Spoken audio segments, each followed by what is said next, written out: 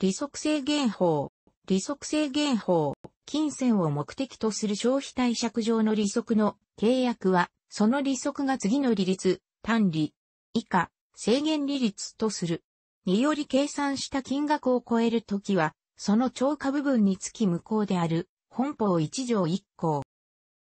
例えば、順年がかかる、金利計算実務、一単数期間で記念順年説、東京地裁民事21部、岡山地裁第三民事部執行係など採用。利息計算対象期間のうち、起算日を基準として年単位の期間については年単位で考え、波数期間、年に満たない期間についての未平年に属するか、順年に属するかにより、単位期間、すなわち分母を365日または366日を採用し日割り計算して等合算するという考え方。に抽象的2月29日説、法務局弁最強宅採用。波数期間の起算日を基準として、向こう1年間の中に2月29日を含まない場合は、単位期間、すなわち分母を365日とし、2月29日を含む場合は、単位期間、すなわち分母を366日とし、さらに向こう1年間の中には2月29日を含むが、現実に金利計算する波数期間の中には2月29日を含まない場合においても単位期間、すなわち分母として366日を採用し、日割り計算するという考え方。賛成統制について、法務局が採用する抽象的2月29日説が正当であるとする意見がある。貸金業法施行規則別表、貸金業法施行規則第11条。貸金業者については、上記最高裁、昭和33年6月6日判決による両端、入れ計算ではなく、貸金業規制法施行規則別表により、貸金業者が貸金業法第14条による表示すべき利息について、借入日の等から弁済日の前日までの期間の利息を表示すべきと定められている。旧利息制限法は単利計算である最高裁昭和31年7月3日判決州民第22号679ページ参照。消費貸借契約の当事者間で利息について定められた弁済期にその支払いがない場合に延滞利息を当然に元本に組み入れ、これに利息を生じさせる約定、いわゆる、重都市の予約は、有効であり年数回の利息の組み入れを約する。重都市の予約は、毎期における組み入れ利息とこれに対する利息との合算額が本来の元本額に対する関係において、1年に月利息制限法所定の制限利率により、計算した額を超えない限度においてのみ有効である。昭和45年4月21日判決民衆第24巻4号298ページ参照。無人契約は金銭貸借の契約ではないから旧利息制限法の適用はない最高裁昭和29年7月13日判決州民第15号147ページ参照。利息制限法は金銭貸借の場合に限り適用されるから栽培培養薬婦の売買には適用がない。最高裁昭和39年10月16日判決州民。第75号819ページ参照。利息制限法に違反しても出資法の制限を超えなければ消費貸借自体は無効とならない。最高裁昭和27年3月6日判決民衆第6巻3号320ページ。最高裁平成20年6月10日民衆第62巻6号1488ページ、参照。旧利息制限法の制限外利息債権を非担保債権として、抵当権設定の登記請求をすることは許されない。最高裁、昭和30年7月15日判決民衆第9巻9号1058ページ、参照。準消費貸借契約にも利息制限法の適用される。また、債務者が利息制限法所定の制限を超える。金銭消費貸借上の利息、損害金を支払えつたときは、制限を超える部分は民法491条によりこれを順次、費用に充当され、利息、遅延損害金の弁済に充当され後に元本に充当される。最高裁、昭和40年6月24日判決州民。第79号503ページ、最高裁、昭和43年10月29日判決民衆第22巻10号2257ページ、昭和44年11月25日民衆、第23巻11号2137ページ、参照。当事者間において、将来金印を貸与することある場合、これが準消費貸借の目的と約束し、その後外債務が生じたとき、その準消費貸借契約は、当然に効力を発生する、最高裁、昭和40年10月7日判決集、第19巻7号1723ページ参照。また、利息制限法所定の制限利率を超過する、利息部分を準消費貸借の目的としても、その効力を生じない、最高裁、昭和55年1月24日判決集民、第129号81ページ参照。旧利息制限法の元においては、最高裁39年11月18、日大法廷判決民衆18巻9号1868ページの判例変更の適用は受けないため債務者によって利息として任意に支払われた金印が同法所定の利率による金額を超えている場合であっても超過分を元本の弁済に充当されない最高裁昭和43年6月27日判決州民第91号511ページ参照。即時料建て預金を取引条件とする金融機関の貸付が私的独占の禁止及び公正取引の確保に関する法律19条に違反する場合でも、その違反により貸付契約が直ちに司法上無効になるとは言えず、また、契約が公助領属に反するとも言えないが、両建て預金及び超過貸付があるために、実質金利が利息制限法所定の制限利率を超過している。時は、超過する限度で、貸付契約中の利息、損害金についての約定は、同法1条、4条により無効になる。最高裁、昭和52年6月20日判決民衆第31巻4号449ページ、参照。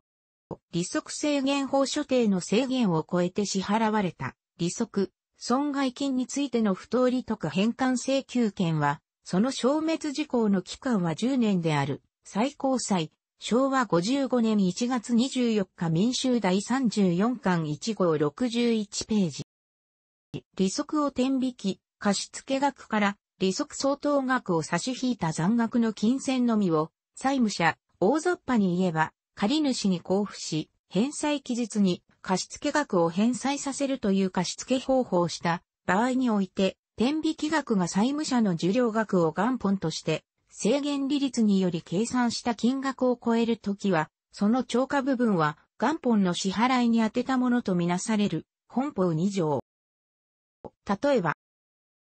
金銭を目的とする消費貸借に関し、債権者、大雑把に言えば、貸主の受ける元本以外の金銭は、礼金、割引金、手数料、調査料その他何らの名義をもってするを問わず、利息とみなされる、本法三条本文。これをみなし利息という。ただし、契約の締結、契約書に調布する、収入印紙の購入費用など及び、債務の弁済の費用、振込による返済に伴う、込み費用など。これに対して、債権者に生ずる、貸付金振込費用は、債務の弁済の費用には当たらず、利息とみなすべきと返する見解が多い。は、この限りでなく、同情ただし書き、実費の限度では、利息とみなされない。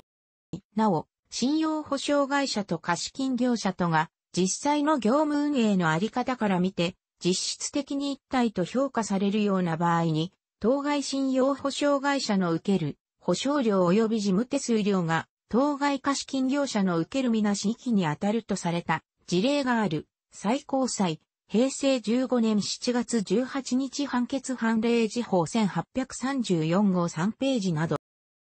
貸金について、抵当権を設定する約束がされた場合には、登記手続きをするための旅費日当、登記証本来は、利息制限法第3条ただし書きでいう契約の締結の費用に入る事例がある。最高裁、昭和42年9月7日決州民、第88号339ページ。契約の締結及び債務の弁済の費用は、真実支出したものに限られ、利息とみなされることを免れようとする、債権者側において、現実に、これを費用として支出した事実を、主張立証しなければならない、最高裁、昭和46年6月10日判決州民、第103号111ページ。利息とみなされない費用、みなし利息の特則、利息制限法第6条、利息制限法施行令、第1条、同施行令、第2条、平成22年6月18日から施行。金銭を目的とする消費貸借上の債務の不履行による賠償額の予定、一項。遅延損害金、遅延利息、延滞利息などと呼ばれるもののことは、その賠償額の元本に対する割合が制限利率の1.46倍を超えるときは、その超過部分につき無効とされる本法4条1項。賠償額の予定がないときは、賠償額は制限利息の範囲内で約定利率によって計算する。1項正し書き、最高裁、昭和43年7月17日判決民衆22巻7号1505ページ。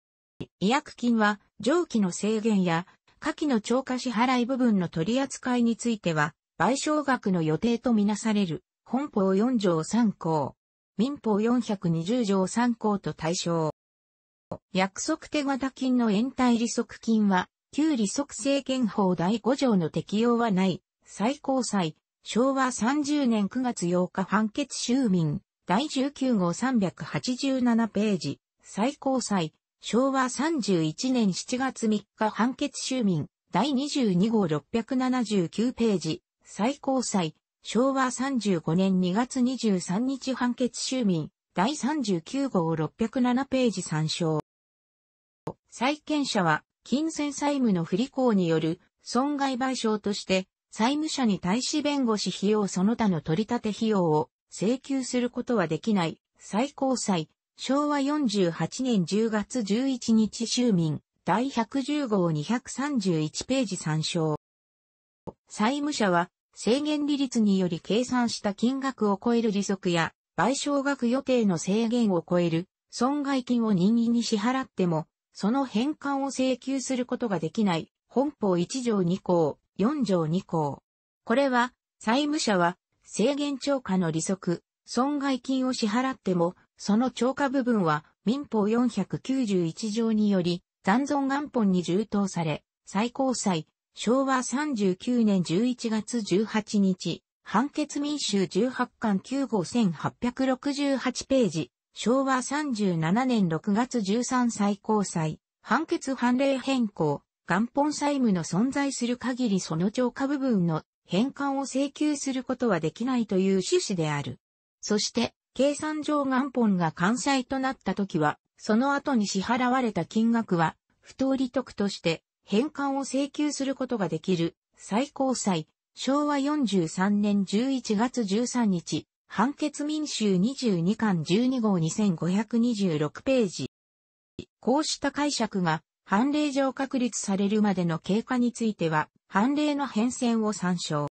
しかし、質屋営業における金利については利息制限法第一条第一項の金銭を目的とする消費貸借の利息の契約に該当する後期の長崎地裁、広島地裁判決参照が貸金業、利息制限法による10万円未満の年利20.0%とは異なり平年年利109.5%、純年年利109.8%、1日あたり0.3%、歴月9%、厳密には1日あたり0.3%、年利109.5%、109.8%は1日あたり0.3%の年換算に過ぎないで月の初日から末日までの期間をすべての月で30日とする内容で一期として利息を計算する。したがって、歴月9%となるために、契約日、返済日により日割り換算の実質年利が異なるため、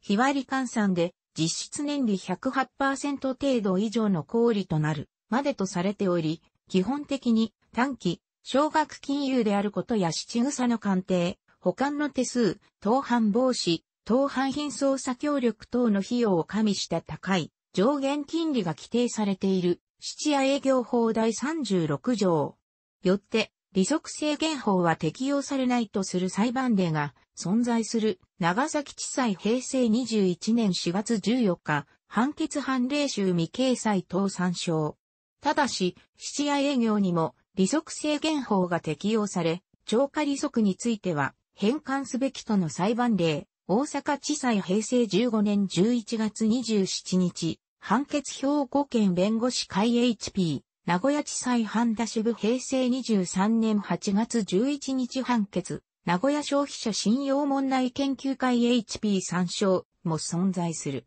さらに、七夜営業法第36条は、利息制限法の特則であるとする裁判例も存在する。広島地裁平成23年2月25日判決判例集、未掲載参照。このように、七夜営業においては、利息制限法の適用等について、下級審の判断が割れており、見解統一の最高裁判例も存在しない。本法は、金銭を目的とする消費貸借上の利息の契約、または賠償額の予定であれば、貸主が事業者であろうと非事業者、いわゆる個人であろうと区別なく適用がある。したがって、本法は金銭を目的とする消費貸借に限ってではあるが、利息の最高限や賠償額予定の制限に関する基本原則を定めた法令、一般法ということになる民法には利息の最高限や賠償額予定の制限に関する規定がない。本法には罰則の規定がないから制限超過の利息の契約や賠償額の予定をしたり、これらに基づいて利息、損害金を受領しても、直ちに犯罪にはならない。もっとも、貸金業者が利息制限法を超過する金利で貸し付けた場合は、貸金業法に基づく行政処分の対象となる。しかし、いくらでも、小売の契約や裁判外での取り立てをしても良いとか、みなし弁済規定の要件を満たせば、いくらでも、小売を受領できるというわけではない。単利換算で貸金業者は年20%、その他のものは年109.5%、2月29日を含む1年については年109.8%、1日あたり0.3%を超える利息の契約または賠償額の予定をしたり、これを受領しまたはその支払いを要求すれば処罰される。出資の受け入れ、預かり金及び金利等の取り締まりに関する法律、以下、出資法という5条1項、3項、5項。質屋に対する出資の受け入れ、預かり金及び金利等の取り締まりに関する法律、昭和29年法律第195号第5条、第2項の規定の適用については、同項中20%とあるのは109.5%、2月29日を含む1年については年109.8%とし、1日あたりについては0.3%とする。と、同法第5条の4第1項中、貸付または保証の期間が15日未満で、後期は、これを15日として利息または保証料の計算をする、ものとする。とあるのは、月の初日から末日までの期間、当該期間の日数は、その月の歴日の数に関わらず、30日とする。を一期として、利息を計算するものとする。この場合において、貸付の期間が一期に満たないときは一期とし、2以上の月に渡るときは、その渡る月の数を期の数とする。とする。七夜営業法第36条、出資法不足に。なお、物価等政令9条の2は、不当効果契約等を禁止しており、利息は、金銭の貸付という給付の対価、金銭を貸し付けてくれたことに対する報酬にあたると考えれば、上実の利率規制に違反しない行為でも、物価等政令9条の2に違反することがあり得るが、出資法6条は、金銭の貸付についての利息に関しては、物価等政令9条の2を適用しないとしている。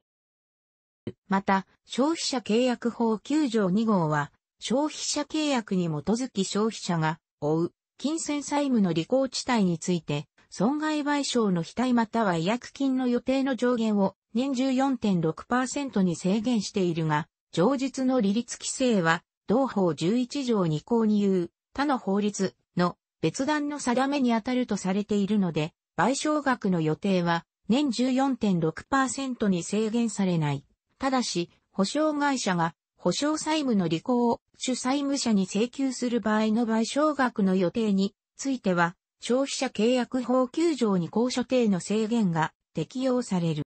旧利息制限法は、いわゆる太平洋戦争などを契機とするインフレーションによる貨幣価値の変動や金融機関一般の金利の実情及び動向に鑑みて日本の市民経済生活に適合しなくなっていたた、これを廃止し、新たに本法が制定された。国会における議論の経過については、国会会議録検索システムの第19回国会衆議院法務委員会議録第24号、昭和29年3月22日、第28号、同月26日、第29号、同月27日、第31号、同月31日、第37号、同年4月10日。第41号、同月16日、第46号、同月27日、第47号、同月28日、同本会議会議録、第43号、同月30日、同参議院法務委員会会議録、第11号、同年3月25日、第15号、同年4月2日、第22号、同月22日、第23号、同月23日、第28号、同年5月1日、同本会議会議録、第41号、同月6日に、即記録がある。法務省民事局の立案担当者は、本法の趣旨について、上記各法務委員会において、旧利息制限法の解釈を成文化するとともに、生じ債権、大雑把に言えば、会社組織の金融機関が有する貸金債権と非生児債権とで違約金に対する規制に差異があった、商法施行法117条のを廃止し、手数料や違約金などの名目で、脱法的に公理の取得を企てる者が出するのを、みなし利息や賠償額予定の制限によって予防したものと説明していた。平成11年12月17日法律第155号によって、本法律4条1項の遅延損害金の制限利率が利息の制限利率の2倍から1.46倍に引き下げられた平成12年6月1日施行。制限超過支払い部分の取り扱いについて、判例は当初、これを残存元本へ充当することは、結果において、その返還を受けたと同一の経済的利益を生ずることになるから、本法1条2項、4条2項に照らして許されないと返していた最高裁、昭和37年6月13日判決民衆16巻7号1340ページ。これは、大審院が、旧利息制限法2条の裁判上無効という文言の解釈として、採用ていた考え方を成文化したという、前述の立法者意思に忠実な解釈であると言えよう。しかし、最高裁は、その後、制限超過の利息、損害金は、本法1条1項、4条1項により無効とされ、その部分の債務は存在しないのであるから、その部分に対する支払いは弁済の効力を生じず、債務者が利息、損害金と指定して支払っても、制限超過部分に対する指定は無意味であり、結局制限超過部分は元本が存在するときは民法491条によりこれに充当される、旨判事して、全経再裁、昭和39年11月18日判決、見解を改めた。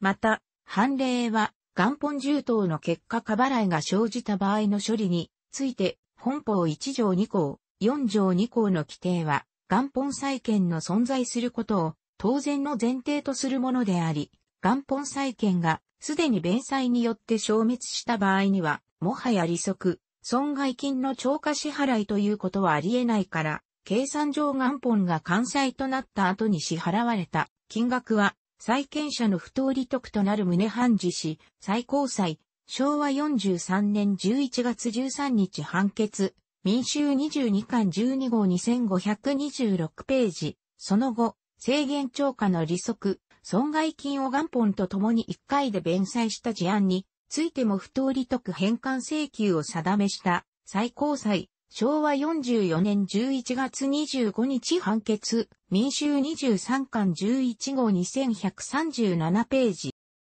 特に長期間にわたり借入れと返済を繰り返している借り手については超過利息が元本に充当され元本が完済された後も返済を続けているため多額の過払いになっていることも多く、近年、金融業者に対する過払い金返還請求訴訟が相次いで起こされている。みなし弁済、弁済とは、貸金業法9 43条1項、参考により、有効な利息または賠償の支払いとみなされる、弁済を言う。なお、貸金業法の改正、第5次施行により、平成22年6月18日に、みなし弁済規定は撤廃されており、それ以前の貸付において問題となっている。貸金業者は貸付にかかる契約を締結したときは、主体なく内閣府令、貸金業法施行規則で定めるところにより、所定の事項について、その契約の内容を明らかにする書面、実務上、17条書面と呼ばれる。を相手方に交付しなければならない、同法17条1項。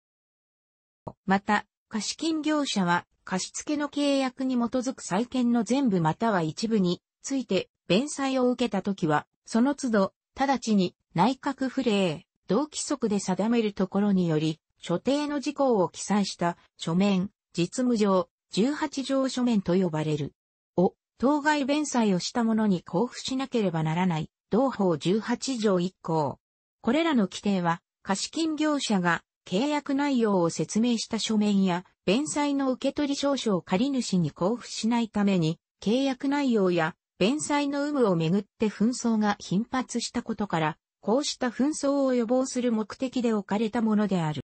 そして、貸金業者が業として行う金銭を目的とする、消費貸借上の利息、みなし利息を含む、の契約または賠償額の予定に基づき、債務者が利息または賠償として任意に支払った金銭の額が利息制限法1条1項、4条1項に定める制限額を超える場合において、貸金業者が17条書面及び18条書面を交付しているときは、その支払いは有効な利息または賠償の支払いとみなされるのである。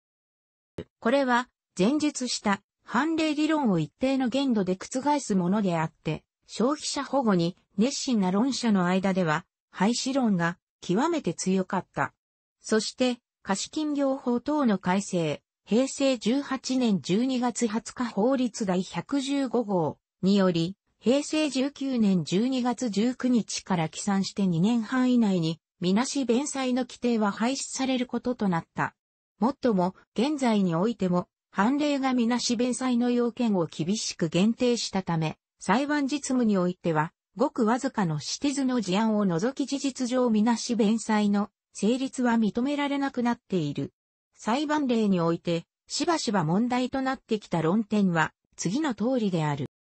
消費者金融業界には、本法の撤廃を求める声が強い。小口無担保、かつ繰り上げ返済自由融資は、制限利息を徴求するだけでは回収コストすら賄うことができないし、裁判実務上、みなし弁済規定の成立要件が厳格に返されている現状では、一旦得た利息収入を不当利得返還請求によりいつ吐き出させられるかもしれないという不安定さ。ちなみに、みなし弁済規定が成立しない利息も収入すべき金額、所得税法36条1項として一旦課税されるが、不当利得返還請求によりこれを吐き出した場合、当該吐き出した金額は損金となる。を免れず、43条問題。これでは、法令の制限内で、庶民金融を供給しようとする者はいなくなり、闇金融の被害が拡大する一方であるなどと主張する。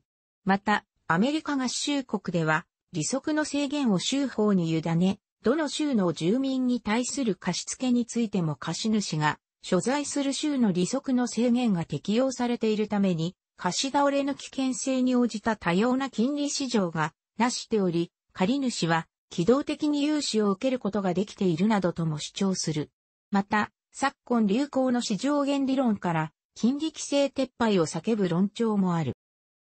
本法が昭和29年に制定された当時の物価水準と現在の物価水準は相当かけ離れた水準であることから元本金額10万円未満と10万円以上、100万円以上に応じて制限利率を区分した立法の趣旨は少なくとも現在の物価水準との合理的連関性はない。国家公務員大卒の初任給で比較すると昭和29年の8700円に対して、平成24年は18万1200円であり、その格差は実に20倍にもなる。これに対して、以下のような論拠により、本法の撤廃に反対する声も強い。近年、一部の業者には、政治団体を結成、業者有利となる法制度にすべく、政府与党に対して働きかけを行おうとする動きもあり、消費者団体、弁護士会から非難されている。しかし、一方で、一般の消費者金融利用者からは過度の規制が利用の妨げになるという批判も強い。消費者金融大手、アイフルのチワワなどを使ったテレビ CM などについて、アイフル被害対策全国会議が平成18年、2006年1月18日、社団法人日本広告審査機構に中止や適正化を求める苦情仕立てを行った。同会議は CM では実質年率が最高28.835%と表示しているが、これが利息制限法違反の無効な金利であることを示しておらず、視聴者に誤解を与えるという理由を示している。楽しくご覧になりましたら、購読と良いです。クリックしてください。